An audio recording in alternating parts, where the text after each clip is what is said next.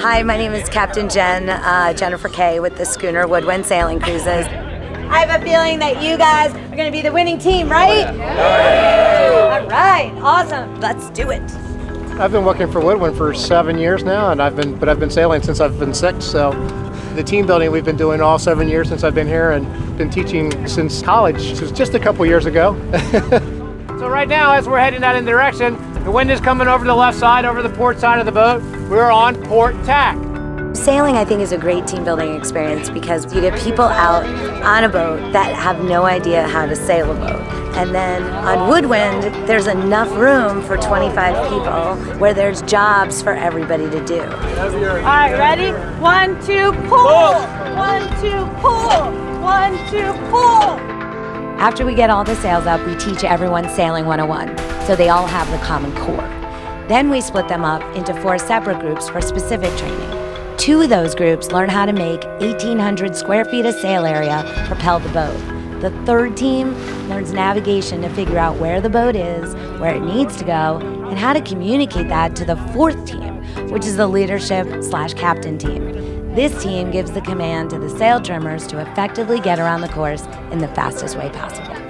Channel marker. There's a channel marker up there. Can you see the channel marker? No. Okay, what does it Go look left, like? left, on your left. It almost looks like a, it's like a little triangular. Yes, I see it. Yeah, I see it. Okay, great. So the more you can paint a picture, Okay, the yeah, more easier gotcha. he knows what to look for. Perfect.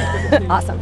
This is kind of unique. This is a, a cool opportunity for us. We only all get together maybe uh, once every four months, so. I usually spend my day alone in the office because everyone's running around getting things. So it's nice to be able to come out with fellow managers and build some teamwork and do something that you're not used to, getting out of your comfort zone.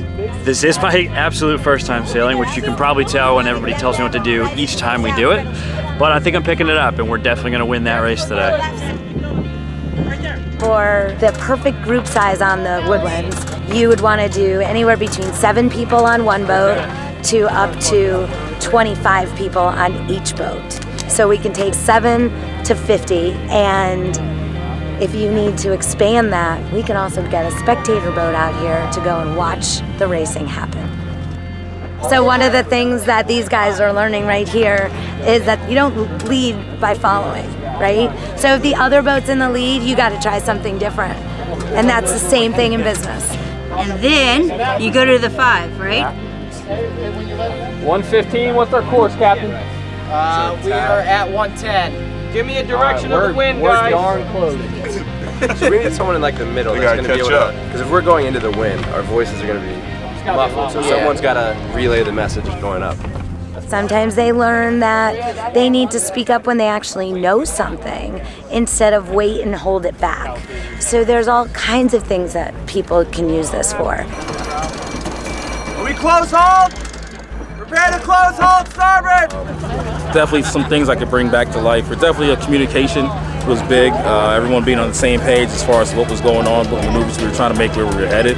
Stuff that was big. I mean, without us, everyone being on the same page, the boat wouldn't go where it needed to go as fast as it could have went. So, teamwork and communication was definitely a big, uh, big key today.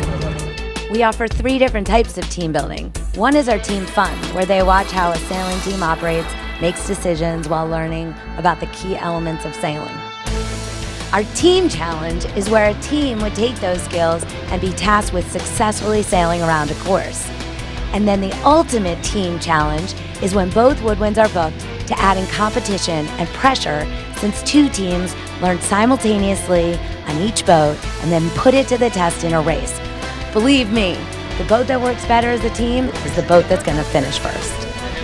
The team building on sailing is great because they get to be outside, work together, and then come up with new little tactics they can do in their office, whether it's confirming that they got an email, something as simple as that. You have to have concise communication on a boat to get your point across, and think about it, you need to get your point across in business.